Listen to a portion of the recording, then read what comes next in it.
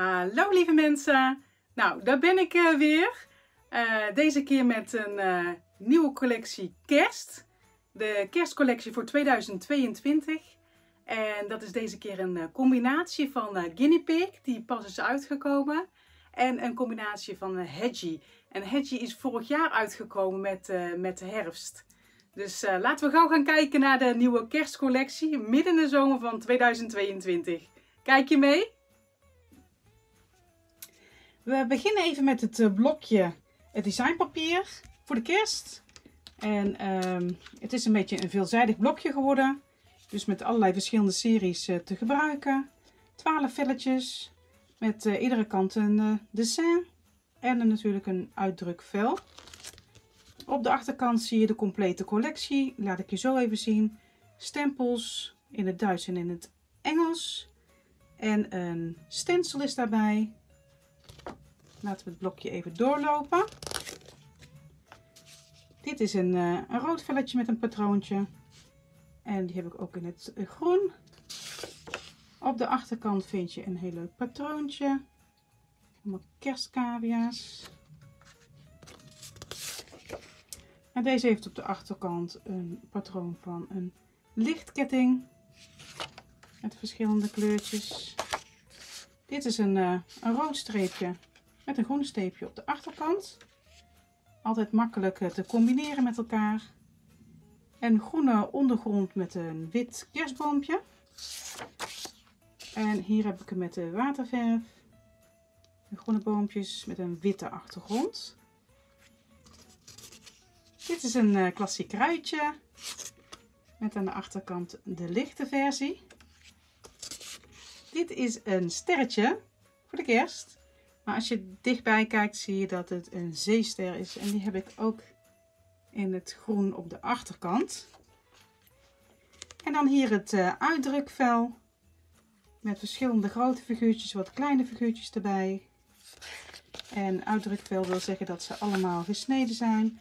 En je hoeft ze zomaar eruit te duwen voor jouw uh, project. Zo. Ik begin even met uh, deze. Dit is uh, de cavia die een beetje beduust kijkt. Uh, het uitdrukstandje. Hier heb ik de gingerbreads gebruikt. En het rode achtergrondvelletje. Dan heb ik hier um, de hedgie met lichtketting. En ook het designpapier met de lichtketting. Hier heb ik hem uitgeknipt en over elkaar geplakt. En hier heb ik hem onder gezet. Dit is het uh, stencil. Laat ik jullie zo even zien. Uh, Oké, zo. Dan heb ik uh, deze leukert. De grote uitdrukstand. En het bijpassende velletje met de kleine cavia's. It's the season to be fluffy heb ik erbij gestempeld. Dan heb ik uh, deze leukers. Dit zijn uh, hedges, oftewel de egels van vorig jaar. En die heb ik een, uh, een muts op getekend. En die zitten dus ook in het, in het uitdrukstandsvel. En dan de leuke candy canes in een hand. En de hulsblaadjes. Hupsakee. En dan heb ik uh, deze leuk gemaakt. Een, uh, een kaartje met uh, fijne feestdagen. Dat is een, een stans. Een stans moet ik heel even denken. Pak hem er even bij. Dat is deze van Leanne Creatief. En dat noemen ze de pop-up fijne feestdagen. Een standje met fijne en feestdagen die je zo kan stanzen. En dan krijg je deze leuke kaart. En daarbij heb ik dan de uh, uitdruk uh, wegwijzer. Ik kon er even niet op komen. Met de Noordpool en de Santa met zijn rendier. Dan krijg je deze grappige kaart. Ik uh, ga even met je door naar de stempels. Die pak ik er even bij. De stempels. We beginnen even met deze. Deze stempel die is het hele jaar door te gebruiken. Het heeft een, uh, een cavia met een bord. En op dat bord kan je allemaal verschillende teksten plaatsen. Dus de gewone teksten zouden kunnen zijn Get well soon. Dat is voor beterschap bijvoorbeeld. Of uh, You are my favorite human. Dus uh, je bent mijn favoriete mens. Maar uh, voor de kerst zou je kunnen gebruiken Merry Pigmas van de Guinea Pigs. Ik heb hier ook Merry Fluffmas van de, het fluffige van de cavia. En Week You a Merry Christmas. Dat zijn eigenlijk de kerstversies uh, daarvan. Dan heb ik wel helemaal in uh, kerstsfeer of wintersfeer, net wat, wat je wil. Een beetje een beduuste cavia die zou kunnen zeggen, huh? Is it Christmas already? En dan hebben we hier drie leuke vrienden bij elkaar. Met It's the season to be fluffy. Het is het seizoen om lekker fluffig te zijn. Dus oftewel hoef je niet op je gewicht te letten. Hoppakee. En hier heb ik een, een lijntje dat je zou kunnen gebruiken voor uh, sneeuw. Die kan je dan voor uh, de cavia's uh, plaatsen. En dan hebben we de Hedgie in de kerstsfeer. Hedgie met, met zijn kerstmuts op, waar ja, de stekels natuurlijk doorheen komen. Cadeautje in zijn hand. En de tekst erbij. Sending you a hedgehog this Christmas. Dan hebben we een leuke losse muts. Daar kom ik later nog eventjes op. En deze cavia, of cavia, dit is een egel.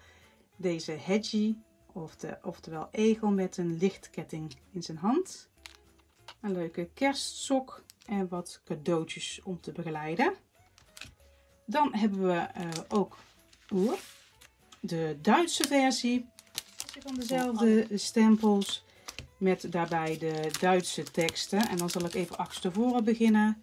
Dieser kleine Igel verzaubert voor je Weihnachten met lichtketten geschenken. Dus dat kan je combineren met verschillende woorden om een leuke Duitse tekst erbij te zetten voor de Duitse mensen. En hier, winter is die kusslige ja Jahreszeit. Huh? Is etwas schon Weihnachten? En deze de teksten op het bord. Du bist mein Lieblingsmensch. Kusslige Weihnachten. Geburtstagegrüße für dich. Werd snel gesund. Und frohe Weihnachten. Dus Engelse teksten en de Duitse teksten. En ik zal jullie nu wat voorbeelden laten zien. Maar alvorens ik de voorbeelden laat zien, vergeet ik bijna om de, het stencil nog even te laten zien. Ik heb ook een stencil ontworpen op A5 met een uh, leuke lichtsnoer. Daarvan heb ik ook dadelijk wat voorbeeldjes. Nou, dan begin ik even met, uh, met Hedgie. Ik heb uh, deze stempel gebruikt. Ik heb hem een hoedje opgegeven op een kerstmuts. En ik heb deze gebruikt en dat is dit een kaartje geworden. Als uh, achtergrond heb ik dan het papier. Ik heb dit een soort uh, pilaar heb ik daarvan gemaakt. Met, met wat borden erop. En de tekst daarbij. Sending you a hedgehog this Christmas. Ingekleurd met markers. De markers van Tombow deze keer. En ook voor het maskeren laat ik je zo eventjes zien hoe dat werkt. Dan heb ik voor de dit is de Hedgie, ja, Hedgie kerst, Hedgie 4. Dan hebben we, het even hoor. Voor de guinea pigs, voor deze, in de kerstversie heb ik deze leukert gemaakt. Ik heb daarbij het stencil gebruikt van de lichtketting. Daar heb ik best wel iets bijzonders mee gedaan. Kijk, want het is... Uh, het heeft een beetje een 3D effect. Nou, wat heb ik uh, daarmee gedaan? Op het kraftpapier heb ik het stencil gelegd. Ik heb dat uh, ingekleurd met een, een witte pen, een gelpen of een Polska, net wat je daarvoor wil gebruiken. Wit, omdat uh, de kleur die je op kraft zet eigenlijk een beetje verdwijnt. Dus je moet een basis geven. Wit heb ik daarvoor gebruikt en dan geel en oranje en wat accenten. En dan natuurlijk de snoer in het zwart. Die heb ik daarop gezet. En toen dat klaar was en gedroogd, wederom het stencil eroverheen. En toen heb ik daar uh, transparante pasta op gezet. Dat kun je opzetten met zo'n spateltje. En dan krijg je deze lichtsnoer die een beetje en glimmend is. En een beetje ja, op het papier uh, ligt. Uh, de cavia heb ik uh, achter een, een sneeuwberg gezet als het ware. Het bordje heb ik losgeknipt. Hier aan laten zitten, maar voor de rest losgeknipt heb ik een beetje naar voren bewogen. De muts heb ik erachter geplaatst. En deze weer er overheen. Je kunt hem er ook voor zetten en dan maskeren eventueel. Deze heb ik gewoon zo gestempeld en alle onderdelen heb ik ook weer los gestempeld en opgeplakt. Dus niet gemaskeerd. En dan hebben we deze Mary Pigmas. Uh, om meteen een voorbeeldje te geven van dezelfde stempel, maar dan niet in de kerstsfeer, heb ik eigenlijk hetzelfde effect gebruikt, maar dan het stencil van een eerdere serie, dat is deze. Kleintje. Oh, even scherp stellen. Doe je dat? Nou, of als je het niet doet, is eh, klaver, hazes, stencil. Ook weer uh, wit ingekleurd, dus er overheen gelegd, wit ingekleurd. Toen een kleur gegeven en daaroverheen ook weer dat, die pasta gezet, de transparante pasta. En dan krijg je deze. Voor het beterschap heb ik op het bordje gezet Get Well Soon.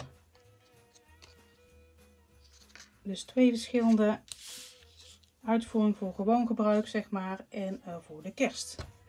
Met dezelfde stempel. Dat is weer. Dan heb ik uh, van de andere cavia stempels. Dat zijn uh, deze. Die heb ik uh, ook ingekleurd met de markers. Uitgeknipt en heb ik een beetje een winterstafereel gegeven. Ik heb daar het sneeuweffect voor gebruikt. Op de neus, een beetje bij de mutsen aangezet. Het boompje komt van de uitdrukstans van het designpapier. En ik heb daarvoor gebruikt uh, sneeuweffect. Dat, dat is in zoveel verschillende producten verkrijgbaar. En deze bijvoorbeeld. En dan kan je een beetje sneeuw aangeven.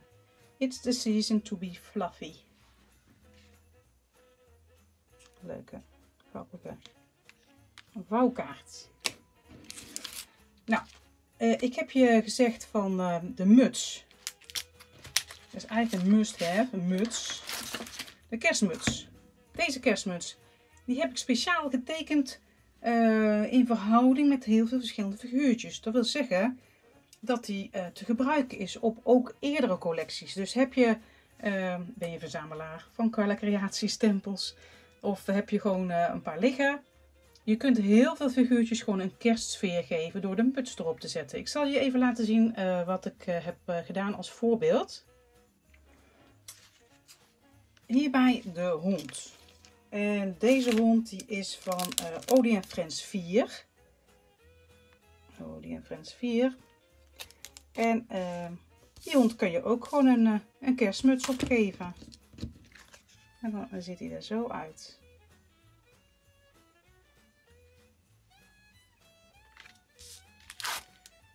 En dat is dus de hond van Odie en Friends. Dan hebben we, heel gek genoeg ook, deze even weg, dat is dus voor het mutsje. De beluga vis, dus de vis. En dan de uitdrukstandjes gebruikt van het uh, uitdrukvel bij designpapier. Dit is ook designpapier. Dat is de beluga vis, die je vast wel kent van Ocean 9. En uh, deze grappige vond ik ook wel heel erg leuk om te doen. Deze. Van de Guinea Pigs. En dat is van de Pig 2. Dat is deze. Nou, we hebben al gezien uh, op social media dat die, uh, die staart die hij in zijn hand heeft. Daar kun je een bloemetje aangeven. Nou, ik heb er een sterretje opgeplakt. Je kunt van alles mee doen. Ik zag ook iemand die had een, een kopje, dat hij zo uh, over uit een kopje kwam. Hoe leuk is dat? Dus de sterren ook weer van het uitdrukvel en de muts daarop gezet. Dus gewone collecties waar prima de mutsen ook op passen. En waar de mutsen ook op passen is ook de oudere Hedgie serie. De twee vriendjes, mutsen opgemaskeerd. En hier heb ik een mutsje opgezet en bij deze. Dus gewone series die je kan eh, verkersten. dat je een kerstversie ervan kan maken. Tot zover de voorbeelden. Ik uh, zal nog eventjes de maskeren laten zien in de video en uh, het gebruik van de Tombow markers. Nou, zoals beloofd even een uh, kleine demonstratie over maskeren. Ik liet je in de voorbeelden zien dat je heel veel verschillende figuurtjes van mijn stempels een kerstmuts kan geven. Nou, wat heb je daarvoor nodig? Dan heb je nodig stamp, stampmasking tape. Die zijn in verschillende soorten. Dit is een rolletje. En dat ziet er zo uit. Het is een soort, uh, ja, moet dat zeggen, van dat schilderstape die niet uh, echt blijft plakken. Heel licht, dus heel makkelijk weer van je project te halen. Er staat ook een voorbeeldje op hoe je moet beginnen. Ik laat je eventjes zien in het projectje. Ik had dus de muts. De muts gaan we stempelen. Ik gebruik uh, lichte archival, licht grijs in dit, uh, in dit geval. In deze. Oké. Okay. Maar wel. Een muts. Die stempelen we op het papiertje. De muts komt voor het figuurtje. Dus je stempelt eerst de muts. Dan stempel je dezelfde muts op dat masking tape. En die knip je vervolgens uit. Zoals je ziet heb ik deze al meerdere keren gebruikt. Die plaats ik zo over de stempel heen. Wie zullen we nu een muts geven? Even denken. Nou, laten we eens gek doen. Laten we een muts geven aan een schaap. Ik heb uh, alweer een tijdje geleden deze ontworpen. Dat is een sheep, sheep 1. En de schaap die gaan we een muts geven. Ik heb hem al heel vaak gebruikt. Dus uh, zo ziet hij eruit als je met uh, zwarte archival stempelt. Helemaal geen probleem. Het gaat om de functionaliteit. Goed instempelen. En dan gaan we hem plaatsen. Ik denk dat hij wel een beetje schuin zo leuk is. De muts eroverheen. De muts eroverheen. De muts eronder. Hier zie je hem erop. Zie je? Dus alles wat vooraan komt, stempel je eerst. Dat maskeer je. En daar overheen stempel je dan het figuurtje. Wat er vervolgens achter komt. Nou, laten we meteen eventjes eh, een kleine demonstratie geven met het inkleuren van dit figuurtje. Maar dan met de Tombow alcoholmarkers in plaats van de Copics. Ik dacht misschien is dat handig omdat jullie die vast, uh, vast wel hebben. Of wat makkelijker aan kunnen schaffen als een koppik. Een koppik is een stukje duurder. Dus vandaar uh, de tombow-markers. Ik zal hem eventjes met jullie doornemen. Ik heb ze in zo'n uh, handig etuitje gedaan. Uh, dit is mijn collectie. Uh, de nummertjes als je geïnteresseerd bent. Dan maak je even een, een screenshot. Uh, hoe stel je een collectie samen? Uh, niet te veel kleuren. Dat is uh, zonde om, om te gebruiken. Vaak dicht bij elkaar liggende kleuren is het gemakkelijkst. Wat wel een must is, is zwart. Er zijn koude en warme grijstinten. Ik heb groen, verschillende kleurtjes groen. Heel licht geel, licht blauw. Donkerblauw, wat lila kleuren. En roze natuurlijk belangrijk voor huidskleur en wat schaduw. En dan hebben we bruin, bruin en uh, rood met aanvullend geel.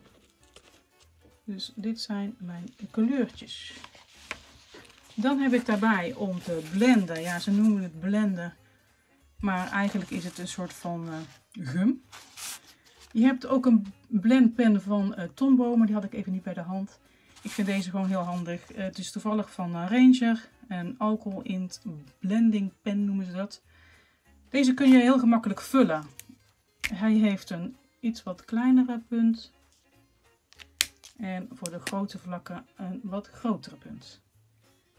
Die punten die haal je eruit en dan vul je hem. Maar je kunt natuurlijk nogmaals ook een eh, blending tool gebruiken. Maar ik gebruik best veel, dus is zonde als je elke keer een nieuwe pen moet aanschaffen. Dus gebruik ik deze. Um, wat gaan we inkleuren? De schaap natuurlijk. Ik zal hem even zo erbij pakken. We zoomen hem een beetje in. Ik begin even met uh, de kerstmuts. Daar gebruik ik voor uh, de rode kleur. De normale rode kleur zeg maar. En een wat donkerdere kleur. Om een beetje schaduw aan te geven. Dan heb ik nodig voor het bont zeg maar. Ja, hoe moet je dat zeggen? Dat wit. De fluffige bovenop en uh, langs de rand. Heb ik een licht grijs. En ik doe daarbij heel licht blauw. Even blauw pakken. Dat is deze kleur. Die kleurtjes die ga ik gebruiken voor de muts. Ik begin altijd met een uh, lichte kleur. Dus we gaan de muts helemaal rood maken.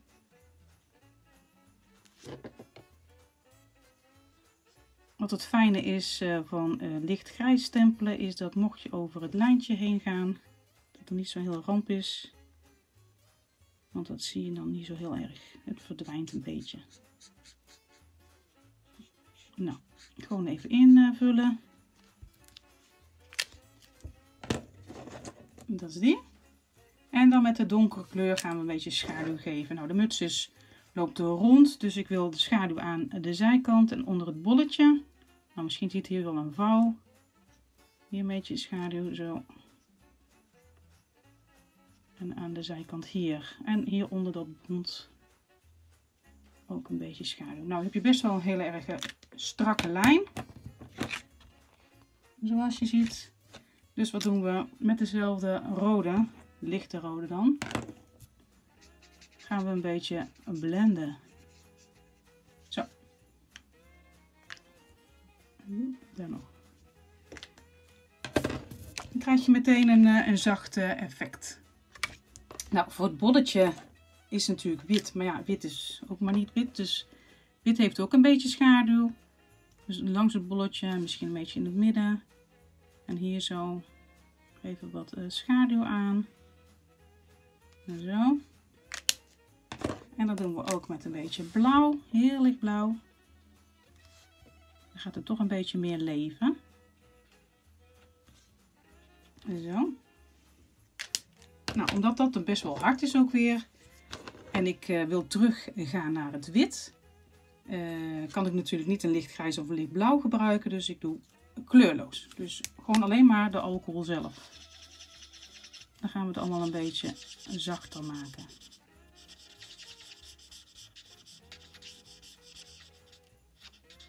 Zo. Dan hebben we de nou, wat hebben we? Gezicht, oortjes en uh, de pootjes. Een beetje een huidskleur. Gebruik ik deze. 910. Even kijken, hier zit een oor. Dan hebben we natuurlijk het gezichtje.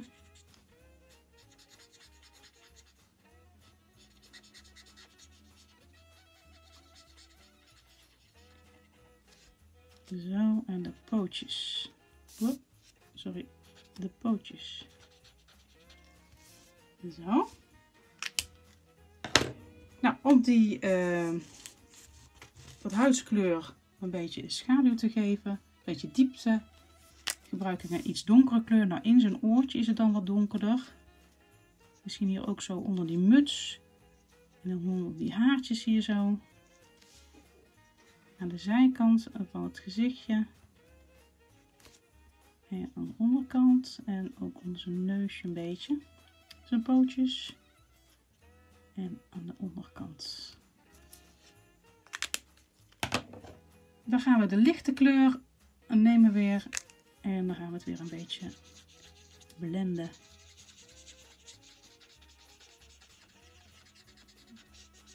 Kijk, dan wordt het wat zachter. Nou heeft hij al een beetje diepte. Uh, we kunnen het bloemetje nog eventjes doen. Nou, laten we daar een lila voor nemen. Deze. Ook eerst een lichte kleur. Zo. En dan geven we wat diepte. Met een wat donkerdere kleur. Dat is deze in dit geval. Waar de blaadjes uitkomen. En om de blaadjes heen een beetje. En een hartje. Een bloemhartje. Een beetje geel. Nou, vervolgens hebben we nog een uh, bloemstengel.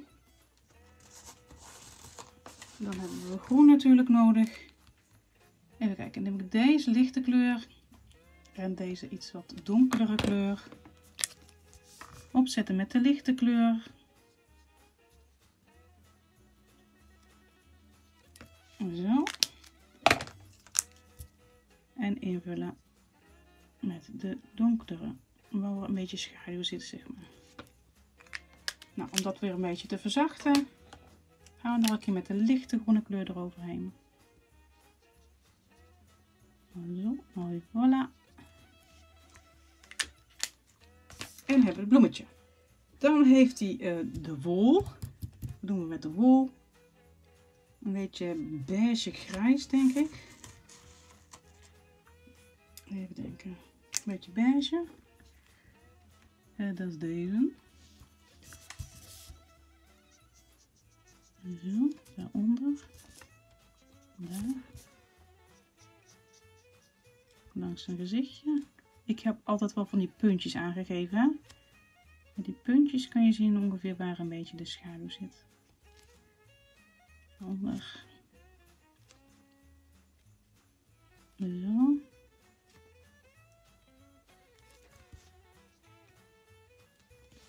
Oh, hierachter zit ook nog een beetje wol. Ik ga nog een beetje met licht grijs. Dat is deze. Gaan we nog een beetje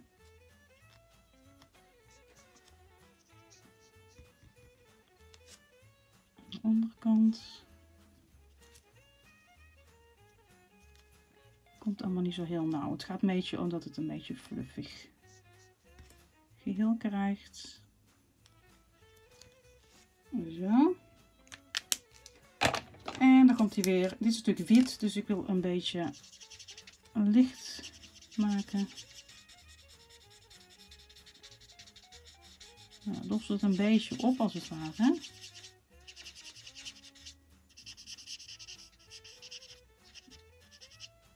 Zo.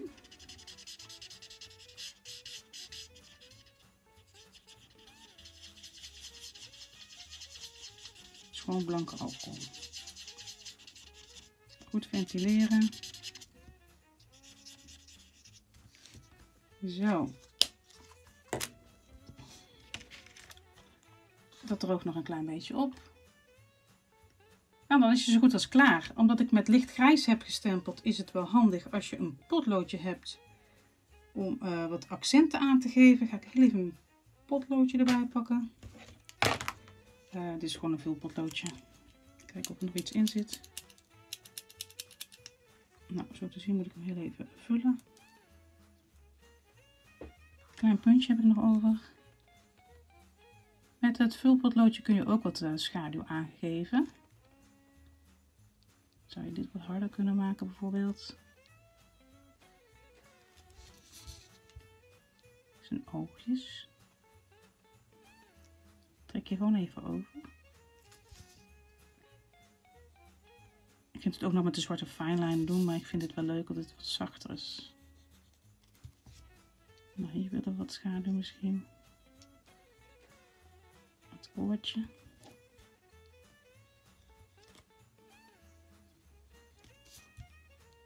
Zo lijkt het net of je het zelf getekend hebt. Nou, deze een beetje fluffig maken.